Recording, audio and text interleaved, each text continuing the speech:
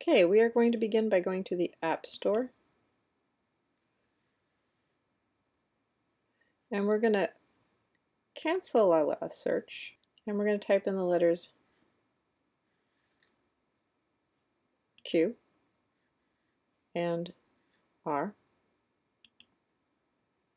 And you'll see that you have a long list of QR codes already. So we're just going to choose the first one. We're going to scroll through all your options. There are lots, you'll see. New Canaan High School Library really likes the one with the heart, and it's pretty far down the list. It's called the best QR code. Not that one. Coming up, I think. There we go. And we're going to click on free and install. And we're going to enter our password.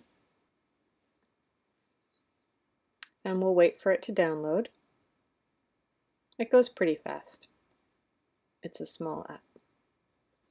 And then we'll go to open. And now we can start scanning. And you can go ahead and start watching the video anytime you are ready.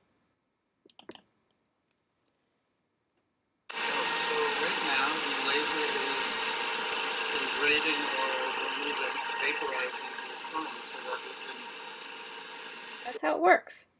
Enjoy QR code scanning.